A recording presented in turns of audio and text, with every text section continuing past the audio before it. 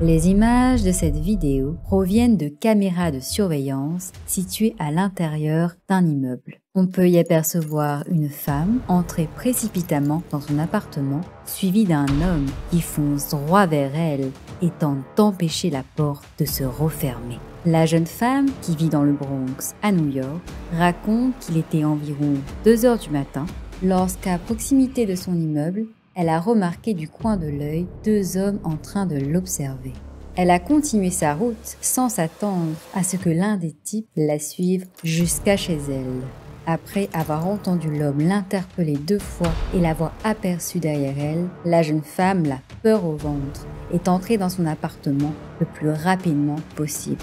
L'individu est resté ensuite un petit moment à lui demander de lui ouvrir la porte. Elle se dit très chanceuse car à une seconde près, l'homme aurait réussi à l'atteindre.